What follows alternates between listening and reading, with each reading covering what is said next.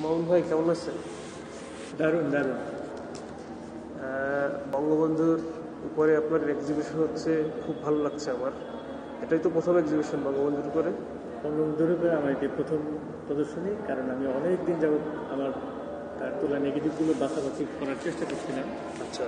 হাত দিতে গিয়ে কয়েক বছর আগে দেখলাম যে বেশিরভাগ নেগেটিভই নষ্ট হয়ে গেছে পুরোপুরি।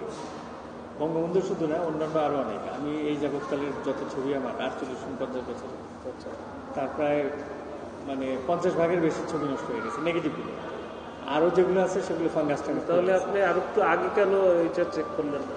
আগে চেক করার সুযোগ ছিল না কারণ একটা রেসের মধ্যে ছিলাম আমি দৌড়ের মধ্যে বাহাত্তর সাল থেকে। এই যে ছবি তুলতেছি নেগেটিভ নিয়ে কোনো রকম একটা খামে ভরে রাখতেছি আলমারিতে রাখতেছি কাঠের বাক্সে রেখে দিতেছি তাহলে শুধু ছবি তুললেই হবে না ছবির মানে এই নেগেটিভ সংরক্ষণ করাটা একটা বিশাল চ্যালেঞ্জ অবশ্যই। শিল্পকর্ম এগুলো তো সংরক্ষণ করা দরকার কিন্তু আমার পক্ষে সম্ভব হয় নাই নানা কারণে। দারিদ্রতা এটা বড় কারণ আচ্ছা। আপনার এগুলি সংরক্ষণ করতে গেলে কিন্তু পয়সা লাগে। এখন যেমন আমি করতেছি এখন আর নষ্ট হওয়ার সুযোগ নাই। এখন তো ডিজিটাল চলে আসছে অতএব নষ্ট হওয়ার সুযোগ নেই। এখন পরিশ্রম করে করতে হবে এটা তো। তাও হার্ড ড্রাইভ যদি নষ্ট হয়? লোক দিয়ে করাই। এর জন্য বিভিন্ন হার্ড ড্রাইভে রাখা ক্লাউডে রাখা। বিভিন্ন জায়গায় রাখা। তো বঙ্গবন্ধুর উপরে বঙ্গবন্ধু শতবর্ষে জন্ম শতবর্ষে আপনি এক্সিবিশন করতেছেন এটা খুব ইন্টারেস্টিং আর বঙ্গবন্ধুর উপরে আপনি প্রথম কবে ছবি তুললেন বঙ্গবন্ধু বঙ্গবন্ধুর প্রথম ছবি তুলি উনিশশো একাত্তর সালের তেসরা মার্চ পল্টন বাজারে তখন আমার মাত্র সতেরো বছর বয়স। ওই যে ছবিটা ওইখানে ওই যে উনি দুই হাত তুলে এরকম মনোযোগ করতেছে। আচ্ছা আচ্ছা। সেই ছবি তুলতে যাই। স্টুডিও নেহার আমি গ্রিন রোডে থাকতাম। গ্রিন রোড স্টার কোয়ার্টারে আমার বাসার উল্টো দিকে রাস্তার পাশে চব্বিশ গ্রিন রোড স্টুডিও নেহার আচ্ছা। ওদের সাথে আমার খুব ভাব ছিল। ওদের ছবিটা কি ক্যামেরায় তুললেন? One twenty Yashica six thirty five box camera স্টুডিওর ক্যামেরা। আচ্ছা। ওরা ওদের ক্যামেরাটা ওরা চুরি করে ওদের ফটোগ্রাফার আমাকে ধার দিয়েছিল। সেইটা নিয়ে আমি ওই ছবি তুলি খুবই ভালো। তারপরে তো পর্যায়ক্রমে বিভিন্ন জনের কাছ থেকে নিয়েছি আমি স্টুডিও নিয়ে মধ্যে। আমি শুনলাম যে বঙ্গবন্ধুর আপনি এত ছবি তুলছেন কিন্তু বঙ্গবন্ধুর সঙ্গে কখনো কথা হয় না জীবনের কথা হয়নি এবং ব্যক্তিগতভাবে উনি চিন্ত না হয়নি কিন্তু আচ্ছা। একই সঙ্গে বলতে চাই যে তার সঙ্গে একটা তীব্র বাতানি সম্পর্ক ছিল। এটা তো বুঝে নিন যে হ্যাঁ। ওই সম্পর্ক নিশ্চয় ছিল। যদি না থাকতো তাহলে ওই মুহূর্তে উনি আমাকে দান করতো না? অথবা যে গাড়ির মধ্যে যে গাড়ি থামিয়ে বাংলাদেশের জাতির জনক মাননীয় প্রধানমন্ত্রী বাহাত্তরের সাতই জুন। গাড়ি থামিয়ে দিয়েছেন। এটা তো ছাত্র ইউনিয়নের মানে ন্যাশনাল লিস্টে যাচ্ছে গাড়িতে। আচ্ছা। এটা হলো আওয়ামী লীগেরই অনুষ্ঠান ছিল ঐতিহাসিক ছয় দফা মুভমেন্টের আন্দোলনের ষষ্ঠ প্রতিষ্ঠা বার্ষিকী সরার্দি সাতই জুন বাহাত্তর সালে। তো তখন যখন ঢাকা ক্লাবের সামনে দিয়ে যাচ্ছিল কাছে আমি ছিলাম। আমি দৌড়ে গিয়ে বঙ্গবন্ধু বঙ্গবন্ধু এরকম করতেছি। অল্প বয়স ইমোশনাল তখন। তাহলে বঙ্গবন্ধুর সঙ্গে আপনার শুধু সম্বোধনটাই আপনার কথোপকথনের স্লো করলেন গাড়িটা এবং দেখলাম এরকম এরকম শোল্ডার নড়তেছে। আচ্ছা। কাজ যখন একটু ফাঁক হয়েছে ওরা তখন বুঝলাম যে উনি নিজেই গ্লাস করতেছে। গ্লাস যখন খুলে দিল ড্রাইভার স্মার্ট ছিল। ড্রাইভার গাড়িটা খুবই স্লো থামার মতো। আচ্ছা। আমি দৌড়ে কাছে গিয়ে আমি ক্লিক করলাম। উনি আমার ক্যামেরার দিকে দেখ যে লেন্সের দিকে তাকানো হাতের তাহলে বঙ্গবন্ধুকে এরকম ছবি তোলার জন্য আপনি কতবার সুযোগ পাইলেন? এরকমই তিন চারবার এর বেশি তিন চারবার হ্যাঁ তিন চারবার তো আমরা জানি যে পঁচাত্তরের পনেরোই আগস্টে বঙ্গবন্ধু সপরিবারে হত্যার পর তারপরে দীর্ঘ আট বছর চলে যাওয়ার পরে আপনি ওই বাড়িতে প্রথম হ্যাঁ, ক্যামেরা সহ 1983 করলেন। সালে। ওই বাড়িতে প্রথম গেলাম। তখন বেগম মুজিবের আপন ছোট ভাই আচ্ছা। তিনি ওই বাড়িতে দেখভাল করতেন। মানে এই সুযোগটা কেমনে করলেন? সুযোগটা তার সঙ্গে সম্পর্ক করলাম। যেহেতু আমি গ্রিন রোডে থাকি। আচ্ছা। কলাবাগান পার হলি বত্রিশ নম্বর রোড রাস্তার ওই পারে মিরপুর রোডে বঙ্গবন্ধুর বাড়ি। তখন তো মিউজিয়াম টিউজিয়াম এগুলি কোনো পরিকল্পনা ছিল না। কিন্তু মাননীয় প্রধানমন্ত্রী উনি প্রায়ই তখন যেতেন। বিরোধী দলীয় নেতা ছিলেন তিনি তখন রাজনীতিতে সম্ভবত নেমেছেন তিরাশি সালে। আমার মনে হয় হ্যাঁ রাজনীতিতে তিনি যোগদান করেছেন। তখন ওই বাড়িতে যখন আমি সুযোগ পেলাম উনি অনুমতি দিল কিন্তু কাউকে বলা যাবে না বলল যে কাউকে আনাও যাবে না।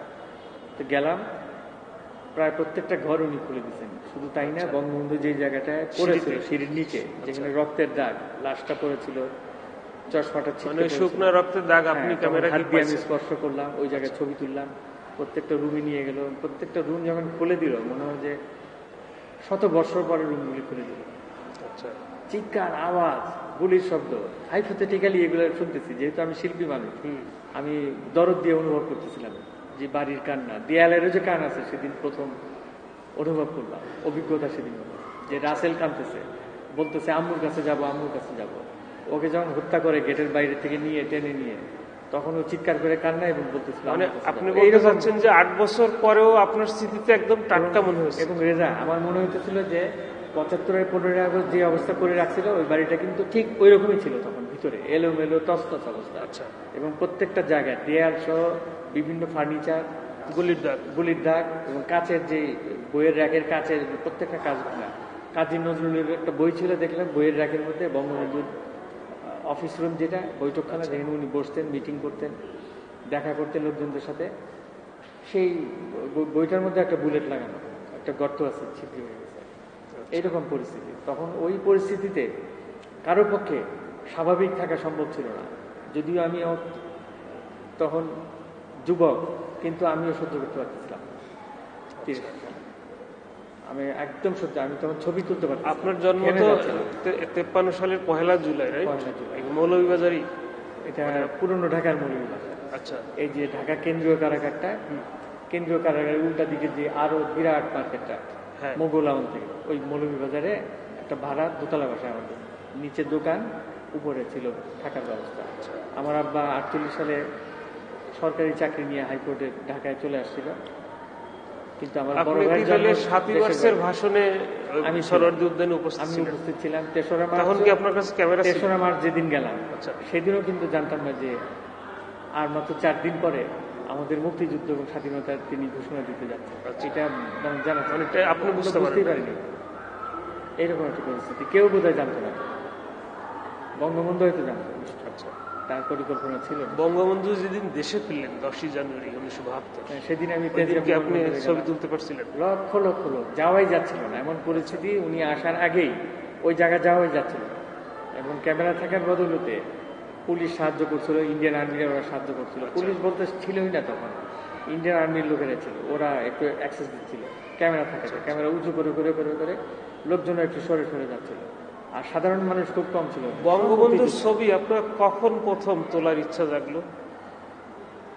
চৌষট্টি মানে বঙ্গবন্ধু তো নেতা হচ্ছে সেই। আপনার ধরেন বাউন্নতে যদি ধরি তখন উনি জেলে। হ্যাঁ, সারা পাওয়ার পরে উনি যুক্ত ফ্রন্টে ইলেকশনে আসলেন। উনি সারা পাকিস্তানের নেতা বড় নেতা। এবং পৃথিবীর অন্যতম শ্রেষ্ঠ নেতাদের কাতারে উনি ষাটের দশকে। না তখন তো আপনি ছোট। যখন ষাটের দশক তখন তো আপনার বয়স সাত আট বছর। বলছি যে বঙ্গবন্ধুকে নেতা হিসেবে আপনার কখন মনে হলো যে ওনার ছবি আমি তুলবো যদি চৌষট্টি সালে। চৌষট্টি সালে হ্যাঁ, আমার বয়স মাত্র এগারো বছর বয়স। আচ্ছা। তখন তাকে আমি প্রথম দেখছি। কোথায় দেখলেন প্রথম? দেখলাম ঢাকায় গ্রিন রোডে। মিস ফাতেমা জিন্না ছিলেন কায়দা আজম মোহাম্মদ আলী জিন্নার যে আচ্ছা। মানে ফাতেমা জিন্নার তিনি ইলেকশনের বিরুদ্ধে রাষ্ট্রপতি মানে প্রেসিডেন্সিয়াল ইলেকশনে দাঁড়িয়েছিলেন। তখন বাংলাদেশ আওয়ামী লীগ এবং বঙ্গবন্ধু বঙ্গবন্ধু জিন্নার বোনকে সব সমর্থন তখন একটা অনুষ্ঠানে বঙ্গবন্ধু আসছেন এবং সাথে ছিলেন মহিউদ্দিন আহমেদ। আচ্ছা মানে আমাদের মঠবাড়িয়ার মহিউদ্দিন সাহেব। ফাতেমা জিন্নারও থাকার কথা ছিল কিন্তু উনি আসতে পারেনি আচ্ছা। তার যে উঁচু লম্বা বিরাট দেখো এই যে ফিগার তখন মনে হলো যে এইভাবে বঙ্গবন্ধুকে দেখতে আসলে এছাড়া দেখা ওই দিন তো আপনি ক্যামেরাহীন কিন্তু ওই দিন মানে- ছবি তোলার আগ্রহটা যাচ্ছে আচ্ছা। জানি যে ক্যামেরা নামে একটা যন্ত্র আছে ওটা দিয়ে ছবি তুলে যায় ওটা থাকে কোথায়? স্টুডিওতে থাকে। এটি জানি। আপনার যতটুকু আমি জানি যে আপনি আপনার প্রথম ছবি তোলার অভিজ্ঞতা হচ্ছে। গ্রিন রোডে স্টুডিও নেহার স্টুডিও ওইটার ফটোগ্রাফার তখন ক্যামেরা নিয়ে আসলো আচ্ছা, আমি তখন দেখতেছিলাম তাদের চিন্তার যেহেতু আমার একই পাড়ার একই জায়গার ওরা থাকে স্টুডিওতে না আপনার প্রথম ছবি তোলার অভিজ্ঞতা তো একদিন বলছিলেন যে আপনার এক বন্ধুর ক্যামেরা ধান নিয়ে তারপর না স্টুডিও নেহারের ক্যামেরা আচ্ছা স্টুডিও নেহারের আচ্ছা। এটা ছেষট্টি সালের জুন মাসে আমি তখন ধানমন্ডি গভর্নমেন্ট বয়েজ হাই স্কুলে ক্লাস সেভেনে পড়ি। তাহলে চৌষট্টিতে পাকিস্তানের সাধারণ নির্বাচনের সময় ফাতেমা জিন্নার রাষ্ট্রপতি নির্বাচনে। রাষ্ট্রপতি নির্বাচনের একটা অনুষ্ঠানে বঙ্গবন্ধুকে প্রথম দেখলেন দেন তার ছবি তোলার আগ্রহ আপনার ভিতরে তৈরি হয়েছে। হ্যাঁ তৈরি হলো মানে এবং সেটা গিয়ে একাত্তরের তেসরা মার্চ পূর্ণ হয়েছে স্বপ্নটা এরপরে বহুবার দেখছি আচ্ছা। তাকে উনসত্তরে যখন ওনাকে বঙ্গবন্ধু উপাধি দিল কেন্দ্রীয় ছাত্র সংগ্রাম পরিষদের মানে সাহেব। সেটা আমার জানা মতে তেইশে ফেব্রুয়ারি কি? সম্ভবত তেইশে ফেব্রুয়ারি। ওইটা টিএসসি উল্টা দিকে ওই রেস কোর্স ময়দানে। তেইশে ফেব্রুয়ারি? হ্যাঁ তখন লক্ষ লক্ষ কিন্তু ছাত্র জনতা উপস্থিত ছিল এখানে। এবং শিল্পী শাহাবুদ্দিন যে এই এই প্রদর্শনী জয় বঙ্গবন্ধু প্রদর্শনী আচ্ছা। ছিলেন ওখানে সেদিন বঙ্গবন্ধু টাইটেল দেওয়া এরকম বহু বাংলাদেশের হার্ডকোর ঐতিহাসিক একটা স্মৃতিময় আর একটা জিনিস আমি জানলাম যে আপনি পঁচাত্তরের পনেরোই আগস্ট বঙ্গবন্ধুকে মারার পরে আপনি প্রথম গেলেন শাহাবুদ্দিন ভাইয়ের বাসায় কলাবাগানের বাসায়। তারপরে আপনারা বত্রিশ নম্বর কি যাওয়ার জন্য চেষ্টা করছিলেন? আমরা চেষ্টা করছিলাম কিন্তু ঢোকা যায় না। ওইদিকে আমরা যেতে পারলাম না দেখলাম যে মানে আপনারা সারাদিন এই অ্যাটেমের মধ্যে কালো কালো পোশাক পরা তার আগে কোনোদিন জানতাম না যে আর্টিলারি কি। আচ্ছা। ওই দেখলাম যে আর্টিলারি কালো পোশাক পরা ওদের গাড়ি এবং একটা দুইটা না তিনটা ট্যাঙ্ক ছিল মিরপুর রোডের উপর দিয়ে ওইদিকে যাচ্ছে। মানে আপনাদের ওপর যাওয়ার সাহসী হয় না। সাহস না আমরা যেতে পারছিলাম না কেউ যাচ্ছে বঙ্গবন্ধু যে মারা গেলেন এটা আপনি প্রথম কিসে শুনলেন। এটা সকাল কয়টার দিকে? এটা আগের দিন রাত্রি আমার যারা মুরব্বী ছিল এলাকার হ্যাঁ। তারা শুনে তাদের মুখ থেকে আমি শুনলাম। মানে তাইলে আপনি বলতেছেন। ষোলোই আগস্টের কথা। ষোলোই আগস্টে ভোর রাত্রে ভোর রাত্রেবেলা আর কি। আচ্ছা। বিবিসি তারপরে ইন্ডিয়ার আকাশবাণীতে এবং আরও কয়েকটা যেগুলি বাংলাদেশে যাদের ফ্রিকোয়েন্সি ছিল সেগুলিতে। তাইলে আপনি শাহাবুদ্দিন ভাইয়ের বাসায় আসলেন কয়টার দিকে? নিজে শুনি নাই কিন্তু আমার বাসার থেকে আমি আমার আব্বা বলল যে শাহাবুদ্দিন ভাইয়ের বাসায় আসলেন কয়টার দিকে? শাহাবুদ্দিন ভাইয়ের ছোট ভাই আমার বন্ধু ছিল আমরা আসলাম এখানে যেহেতু শাহাবুদ্দিন ভাই মুক্তিযোদ্ধা। ওনার কি নাম? শাহাবুদ্দিন ভাইয়ের আব্বা তার পুরো পরিবারটি মুক্তিযোদ্ধা। আচ্ছা। কফিলুদ্দিন ও আসছিল শাহাবুদ্দিন ভাইয়ের সাথে। আচ্ছা আচ্ছা। আমরা কলাবাগানে আরও বন্ধু বান্ধব ছিল আমরা স্কুলে একসাথে যারা পড়তাম কলেজে গ্রিন রোড আর কলাবাগান তো পাশাপাশি। হ্যাঁ। তা আমরা সবাই দল বেঁধে ওই মিরপুর রোডের উপরে উঠার চেষ্টা করলাম বঙ্গবন্ধুর বাড়ির দিকে যাওয়ার যেতে পারলাম কিন্তু আমরা করলাম কি না যেতে পারে আমরা ভিতর দিয়ে ভিতর দিয়ে হাতির পুলের ভিতর দিয়ে শাহবাগ গেলাম। মানে আপনারা বারবার যাওয়ার চেষ্টা যে হাজার হাজার মানুষ। আচ্ছা এটা কি রেডিওর সামনে? রেডিওর সামনে।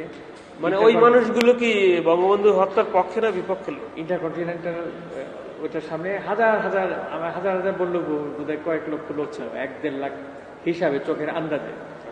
তারা প্রত্যেকে স্লোগান দিচ্ছে এবং আর্টিলারি ওদের মালা করে দিচ্ছে কেউ ফুল এনে এই স্লোগান দিচ্ছে কি এই তারা- হত্যাকারীদের পক্ষে? হত্যাকারীদের পক্ষে স্লোগান দিচ্ছে। তখন দেখলাম যে অনেকে ভিতরে তাকায় দেখলাম যে আমার বন্ধু যাদের সাথে স্কুলে পড়ছি পাড়ার এলাকা তাদের অনেক বড় ভাইরা আছে তারা জামাত ইসলামের পক্ষে মুসলিম লীগ করে তাদের বাবারা। ওই পরিবারের লোকগুলা সব রাস্তায় বেরিয়ে গেছে এবং তারা বেশিরভাগই হাতিরপুল এলাকা কলা বাগান কাঁঠাল বাগান মোহাম্মদপুর ধানমন্ডি এইসব এলাকা শান্তিনগর এইসব জায়গা থেকে আসছে কাছাকাছি জায়গা থেকে। একটা জিনিস আমার একটু জানার ইচ্ছা, তারা এত মনে করেন আপনারা আর্টিলারি দেখার পরে ভয়ে সাহস পেলেন না। এই লোকগুলো কীভাবে বুঝলো যে আমরা স্লোগান দিলে ওরা মানে ওদেরকে অ্যাকসেপ্ট করবে? মানে বঙ্গবন্ধুর যারা হত্যাকারীর পক্ষে যারা ওরা কীভাবে ওদেরকে বুঝাইলো? সিগন্যালটা কেমন ছিল? সিগন্যালটা ছিল এই কারণে যে তারা তো স্লোগান দিচ্ছিল। আচ্ছা। সেটি তো একটা বড় সিগন্যাল যে তাদের পক্ষে স্লোগান এবং বঙ্গবন্ধুর বিরুদ্ধে স্লোগান তাদের স্লোগান আওয়ামী লীগের কোনো নেতা নাই। আওয়ামী লীগের কোনো ছাত্রলীগের কোনো নেতা নাই। পরিচিত কোনো নেতাই নাই যা মানে ওই ওইটা মানে এটা কি সুযোগে তখন অসংখ্য লোক আতঙ্কিত এবং এমন একটা পরিস্থিতি সবাই হতভম্ব হয়ে পড়ছে। আসল কথা হলো তাই। কারণ এত বড় একটা দল আমাদের প্রধানমন্ত্রী শেখ হাসিনা কয়েকদিন আগে তার এই অডিওটা বারে বারে টেলিভিশনে দেখা যে আচ্ছা। আওয়ামী লীগ খুব ইমোশনাল হয়ে যে আওয়ামী লীগ এত বড় একটা দল এত নেতা। বঙ্গবন্ধুর লাশ কয়েকদিন পড়েছিল বত্রিশ নম্বরের বাড়ির সিঁড়িতে। কিন্তু একজন লোকও যায় না একজনও যায়নি তারা কোথায় ছিল? এবং তারপরে বলল যে এই প্রশ্ন আমার এখন এখনও এই প্রশ্ন তবে পরে মনে হয় রাশেদ মোশারফের নেতৃত্বে একটি মিছিল বের হয়েছিল খালেদ মোশারফের মাকে হ্যাঁ, নিয়ে কলাবাগানে। উনি কলাবাগানই তো আচ্ছা। আর করছিলেন কর্নেল জামিল সাহেব। উনি তো মারাই গেছেন ওই সাতাশ নম্বর ওই যে সাতাশ নম্বর ওই যে সোবান রয় সো- মসজিদটার কাছে। সোনক মসজিদের কাছে মানে ডেন্টাল হোস্টেলের উল্টা কিন্তু আসছিলেন যে কি হয়েছে এবং প্রোটেক্ট করার জন্য বঙ্গবন্ধুকে যেহেতু দায়িত্বটা তার ছিল ওনার সাহস ছিল। উনি ওই অন দি স্পটই মারা গেছেন। কিন্তু সারা বাংলাদেশে সেরকম প্রতিবাদ নাই। সবাই যে যার সেফ সাইডে চলে গেছে। আমি রিসার্চার বঙ্গবন্ধুর ছবি তুলতে গিয়ে বঙ্গবন্ধু পরিষদের মনে করেন চার নেতা তাজউদ্দিন সাহেব তারপরে সৈয়দ নজরুল ইসলাম সাহেব কামরুজ্জামান সাহেব মনসুর আলী সাহেব। ওনাদের ছবি তোলার সুযোগ দিচ্ছে ওনাদের পোর্ট্রেট করার সুযোগ আমার হয়নি আচ্ছা। এমনি ছবি তুলছি বিভিন্ন অনুষ্ঠানে মিটিং এ মুক্তিযোদ্ধাদের বিভিন্ন বিয়ে অনুষ্ঠানে। উনিশশো বাহাত্তর সালে থেকে একটা হিরিক করে। পোর্ট্রেট তোলার আপনার আগ্রহ কবে তৈরি। হলো? মনে করেন ফটোগ্রাফি তো ফটোগ্রাফি তো অনেক আছে। ল্যান্ডস্কেপ পোর্ট্রেট বিভিন্ন ধরনের। এখন পোর্ট্রেটে আসার আপনার মানে ইটা একটু বলেন না। মানে কেন আগ্রহ হইল ছোটবেলা থেকেই একবারে শিশু বয়স থেকে নয় দশ বছর বিভিন্ন অনুষ্ঠানে আমি চলে যেতাম বাসা থেকে না দেখতাম যে বিভিন্ন ক্ষেত্রে বিখ্যাত লোক কবি সাহিত্যিক সংগীত শিল্পী রাজনীতিবিদ তারা স্টেজে কীভাবে উঠে কীভাবে বক্তৃতা দেয়। আচ্ছা। তাদের মুখের যে আহ, চেহারাটা মুখের যে জিওগ্রাফিটা সেটা কীভাবে বদলায় বদলায় যায় বিভিন্ন আচ্ছা। মানে পর্যায়ে। বিভিন্ন পর্যায়ে। এবং প্রেসের ফটোগ্রাফাররা কীভাবে তাদের ছবি তোলে কত দূর থেকে তোলে কোনো কথা হয় কিনা? এগুলো খুব পরখ করতাম এবং মনে মনে আফসোস করতাম যে হাই আমার যদি একটা ক্যামেরা থাকতো আমি তো স্টেজে উঠতে পারতাম। আমি কবি জসীমুদ্দিনের ছবি তুলতে পারতাম। আমি বঙ্গবন্ধুর ছবি তুলতে পারতাম। সেই ছোটবেলায় আমি চিন্তা করতাম। কিন্তু সম্ভব ছিল না আমার তো ক্যামেরা ছিল না ট্রেনিংও ছিল না। মুক্তিযুদ্ধ যখন হয়ে গেল তার আগে কিন্তু আমি আমাদের দেশের যে নাম করা পত্রপত্রিকা ছিল দৈনিক পত্রিকা সেগুলি পাতা আমি কাটতাম আচ্ছা। বিভিন্ন দেশের রাষ্ট্রপ্রধান কবি লেখক বিখ্যাত কারও ছবি দেখলে ওই নিউজ প্রিন্টের পাতাটা কেটে এটা ওটা আপনি কালেক্ট করতেন। আমার আব্বা পড়ার আগে পত্রিকাটার পাতা আমি মানে কাটে ফেলে। আচ্ছা। অনেক সময় মাইরে দিচ্ছে আমার। শুধু তাই না আশেপাশে যারা বন্ধু বান্ধব ছিল আমার এই নেশা সম্পর্কে তারাও জানতো। ওরা করতে গিয়ে ওদের বাপেরা বা বড় ভাইয়েরা যেসব কাগজ টাগজ রাখতো এক জায়গায় পড়ার পরে ওরা জানালার পাশে দরজার পাশে রাখতো এবং জানালা খুলে রাখতো। আচ্ছা। যাতে আমি গিয়ে চুরি করে করে নিয়ে আসতে আমি হাত ঢুকায় ঢুকায় নিয়ে আসতাম ওরা ওইভাবে রেখে দিত। আমার এইরকম নেশা ছিল এবং বন্ধু বান্ধবরা সমর্থন করতো। এইভাবে এটা কোন বয়স থেকে এই কালেকশন আমার হলো? নয় দশ বছর বয়স থেকে। আমার একটা অবসেশন তৈরি হয়ে বিভিন্ন ক্ষেত্রে বিখ্যাত লোকদের প্রতি অজান্তে পাতা কাটতে কাটতে এক ধরনের শ্রদ্ধা ভালোবাসা তীব্র মোহ সৃষ্টি হয়ে গেল এই আইফোন এবং বাহাত্তরে যখন আমি মুক্তিযুদ্ধের পর পর কয়েকদিন পরে এমন না যে দুই তিন মাস তা না মুক্তিযুদ্ধের কয়েকদিন পরে ষোলোই ডিসেম্বরের পরে আচ্ছা। আমি ভাবলাম যে এই যে আমার চারিপাশে যে বিখ্যাত মানুষ বিভিন্ন ক্ষেত্রে তারা অনেক কাজ করে সারা জীবন একদিন উদাও হয়ে যায় আর তাদের পাওয়া যায় না গ্রহ থেকেই তারা উদাও হয়ে যায়। আচ্ছা ভালো একটা যুদ্ধের সময় আপনি দেখেন না বলি তাদের ভালো একটা ছবি দেয় তখন যারা আমার দেশের মুরব্বী ফটোগ্রাফার ছিল পূর্ব পুরুষ ফটোগ্রাফার ছিল তারা সবাই ফুল পাখি নদী নিয়ে নিসর্গ নেচার বেস ফটোগ্রাফি করতো। আচ্ছা। পোর্ট্রেট ফটোগ্রাফি কেউ করেনি। আমি এই বাহাত্তর সালে পোর্ট্রেট ফটোগ্রাফি শুরু করলাম মানে এটা আপনি আবিষ্কার করলেন কি এই চোখ রাখার কারণে এই চোখ রাখার কারণে যে কেউ করে না। তারপর আমি করতে চাই পোর্ট্রেট যে বিভিন্ন ক্ষেত্রে খ্যাতিমানদের ভালো পোর্ট্রেট নেয় তারা স্টুডিওতে যায় ছবি তুলে সেই ছবি পাসপোর্ট ছবি মতো হয়। আসল চেহারার সাথে কোনো মিল নেই। তা আমি একটা নতুন ফ্রন্টিয়ার ওপেন করলাম বাংলাদেশে।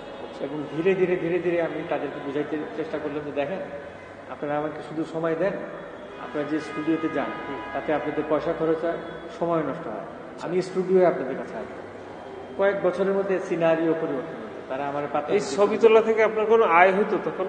না একদম না ওই ভাবনা আসে নাই মাথায়? আপনার আসলে আয় হইতো ব্যয় হইতো।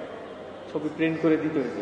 না তখন তো আপনাদের ফিল্ম কিনতে হইতো। ফিল্ম সংগ্রহ করতেন কীভাবে? ফিল্ম আমি কিনতাম। বন্ধু বান্ধবরা ধার দিত এই টাকাটা সময় শোধ করতে পারি নাই অনেক সময় দিতেও পারি নাই চাইতেও না। তারপরে বিয়ের অনুষ্ঠানে ছবি তুলতাম কেউ পঞ্চাশ টাকা দিত একশো টাকা দিত। এইভাবে করছি প্রচুর সংগ্রাম লড়াই এবং স্ট্রাগল করে আমাকে কিন্তু আপনার স্বাভাবিক পড়াশোনা কি ব্যাহত হয়েছে? ক্যামেরা আসার মানে এর জন্য কি পারিবারিক ভাবে আপনার বাবা বা মা কোনো ধরনের চাপ তৈরি করতে না চাপ আমাকে তৈরি করে। আমাকে কোনো সময় উৎসাহ মানে আপনার এই নেশাটাকে তারা পজিটিভলি নেশার জন্য ঠিক পজিটিভ নিচে তাও বলব না। আমার নেশার তীব্র নেশা দিকে তারা কোনো সময় বাধা দেয়নি কিন্তু উৎসাহ দেয়। আচ্ছা। বাধা দেয়। বাধা না দেওয়াটাও কিন্তু এক ধরনের উৎসব। এক ধরনের উৎসাহ অবশ্যই। বাধা দিলে তো আমি কারণ সাপোর্ট আছে। এটা আপনি বুঝতেছেন যে সাপোর্ট করছে আগে তো বিষয়টা। পারতাম। Right. তাহলে হচ্ছে আপনি বঙ্গবন্ধুকে ছবি তোলার পরে এই যে যে বিশাল একটি দেহ এটা দেখার পরে যে আগ্রহ তৈরি হইল এবং দেহ না ক্যারিসম্যাটিক ক্যারিসমেটিক একটা ফিগার একদম জাদু করে টান দিয়ে নেয়। আমি এগারো বছরের একটা শিশু চৌষট্টি সালে তাকে দেখে তার প্রতি এত আকৃষ্ট হলেন কেন? ম্যাসমারাইজ করে দেওয়া এবং অডিয়েন্সকে উনি এনথ্রেল করে দেন। উনি কি জাদু জানতো? জাদু তো জানতো না উনি তো জাদুকর না। কিন্তু ওনার মনের মধ্যে একটা আকর্ষণ করার ক্ষমতা ছিল। হয়তো মহামানবদের এ ধরনের আকর্ষণ মানে এই ধরনের ক্যারিসমেটিক ব্যাপার স্যাপার থাকে। এবং আপনাকে সে দখল করে নিত। আপনি করে নিত। তার সামনে আপনি প্রায় আত্মসমর্পণের মতো করে এরকম অডিয়েন্স এরকম থাকে মন্ত্রমুগ্ধের মতো। আমি তাকায় দেখতাম ছোটবেলা থেকে যে অডিয়েন্স কি করে। তো কারণ তার ভাষণের পর তার বক্তৃতার ভাষাই ছিল বিষয়বস্তু ছিল এই বাংলাদেশের জনগোষ্ঠীর দারিদ্রতা বিমোচন তাদেরকে মুক্তি দেওয়া তাদের ভাত কাপড়ের সংস্থান করা। এগুলি আর কোনো নেতা এভাবে করতো না একমাত্র মৌলানা হোসেন স্যার। আচ্ছা। আপনি তো ভাসানিরও ছবি তুলছেন। অনেক। ব্যক্তিগত সম্পর্ক ছিল। ছবি তোলায় ভাসানি খুব কাছাকাছি যেতে পারছিলেন একদম। ওনার সাথে ব্যক্তিগত সম্পর্ক ছিল। আচ্ছা। মানে আপনি টাঙ্গাইল চলে যেতেন টাঙ্গাইলে বহুবার গেছি আমি। তো সাতই মার্চের ভাষণের পর আপনি কি নিজেও যুদ্ধে চলে গেলেন? না। তাহলে আপনি কোথায় ছিলেন? আমরা ছিলাম হলো সাত ভাই দুই বোন। আমি দ্বিতীয়। আচ্ছা। এবং একাত্তরে বললাম যে আমার সতেরো বছর। হ্যাঁ। আমার বড় ভাই আমার চাইতে দুই বছর দশ মাসের বড়। উনি কি যুদ্ধে গেছেন? উনি যুদ্ধে গেছেন কিন্তু ইন্ডিয়াতে যেতে যাওয়া হয়। আচ্ছা। ওনার যে বন্ধু ছিলেন সবচেয়ে ঘনিষ্ঠ বন্ধু। তিনি তৎকালীন সময় ঢাকা কলেজে ভিপি ছিলেন। উনিশশো সত্তর সাল থেকে তিনি ভিপি। আচ্ছা। একাত্তরও ভিপি ছিলেন ছাত্রলীগের। আব্দুল আজিজ। উনি প্রথম গেলেন। আর আপনার বাবা কি গেছিলেন সংক্ষেপে বলি। না আমার বাবা যায় উনি প্রথম গেলেন। আগরতলা তখন আপনার বাসা কি ওই মৌলভীবাজারই? না আমরা তখন থাকি আলামিন রোডে গ্রিন রোডের কাছে। আচ্ছা। আলামিন রোডটা কাঁঠালবাগানের মধ্যে পড়ছে কিন্তু গ্রিন রোডের কাছে। আচ্ছা। তার আগে আমরা গ্রিন রোডে থাকতাম স্টাফ কোয়ার্টারে এগারো নম্বর বিল্ডিং তো পুরো যুদ্ধের সময় কি ওখানে আপনাদের পরিবার থাকতে পারছে? পরিবার ছিল আমরা আমি ধরাও করছিলাম আমি আমার আব্বা দুইজন আপনি কীভাবে ধরা পড়লেন? আব্দুল আজিজ ভাই কীভাবে ধরা পড়লেন? ওরা মুক্তিযোদ্ধারা আমাদের বাসায় আসতো নিয়মিত। ও, খাবার টাবার বাস সিভিল ড্রেসে? আসতো সিভিল ড্রেসে বিকেলে সন্ধ্যার আগে। আচ্ছা। এবং তাদের প্রত্যেকের হাতে বাজারের ব্যাগ থাকতো চটের ব্যাগ পাটের ব্যাগ। আচ্ছা। ওই ব্যাগে শাক সবজি থাকতো বার করা উপরের দিকে। ভিতরে অস্ত্র? ভিতরে অস্ত্র থাকতো নিচে। তো যারা বিহারি ছিল আশেপাশে বাঙালি যারা ছিল মুক্তিযুদ্ধের পক্ষে। তারা এটা টের পাইছিল কিন্তু তারা কাউকে বলা বলি করতো না। আমাদের বাড়ি আলো আচ্ছা। ওদের একটা আশ্রয়স্থল হ্যাঁ আইসা থাকতো থাকতো পরের দিন রাত্রে বা ওই রাত্রে বিভিন্ন জায়গায় অপারেশন করতো গ্রেনেড মারতো তারপরে ডেটোনেটার দিয়া ওই যে পাউডার দিয়া পুডিং এর মতো বানায় ভিতরে কাচের মানে এক ধরনের বোমা। মারতো হ্যাঁ। আচ্ছা। চলতে ছিল আগুন মারতো কি পাকিস্তানি আর্মিদের আর্মির মধ্যে মারতো আর্মিদের জিপ গাড়িতে মারতো পুলিশের জিপ গাড়িতে মারতো মুক্তিযোদ্ধা মানে ঢাকায় তখন যেসব গাড়ি ওদের চলাচল করে। গেরিলা ওয়ারেরই অংশ বিশেষ। এটা কোন মাসের কথা বলতেছে এটা আমি বলতেছি হলো জুলাই মাসের পর থেকে তারা জুলাই আগস্ট মাসের পর থেকে অনেক আসতো মানে জুলাই আগস্ট মাসে কি ঢাকায় মাঝে মাঝে এরকম হ্যাঁ এরকম মানে এটা কি মানে শাহাবুদ্দিন ভাইদের মতো গেরিলা এরা? হ্যাঁ অবশ্যই মুক্তিযোদ্ধা। যেহেতু আমার ভাই মুক্তিযোদ্ধা ছিল উনি ওনার ট্রেন হয়েছে বাংলাদেশের মধ্যে। আচ্ছা। ওনার বন্ধুই বলছে যে তোর আসার দরকার নেই তুই ভিতরে থাক। মানে ওপার থেকে যারা ট্রেনিং নিয়ে আসতো তাদের কাছ থেকে আবার এরা ট্রেনিং আমাদের বাসায় বিভিন্ন জায়গায় আশ্রয় বিভিন্ন সেফ জায়গাতে। তো যেহেতু বিকালে শাক সবজি নিয়ে আসে বিহারি যারা ছিল আমাদের খুব ঘনিষ্ঠ আত্মীয়ের মতো এইরকম। আচ্ছা আচ্ছা। আমরা পাশাপাশি দীর্ঘদিন। তারাই আমাদেরকে ধরাই পাকিস্তান আর্মি আসলো ওই রাত্রে অক্টোবর মাসে আমরা ধরা পড়লাম অক্টোবর। অক্টোবর মাসে তখন শীত অল্প অল্প শীত করে গেছে। পুরা বাড়ি ঘেরাও করে আমি আব্বা দুজনকে ধরলো আমাদের আমি খালি গায়ে ছিলাম।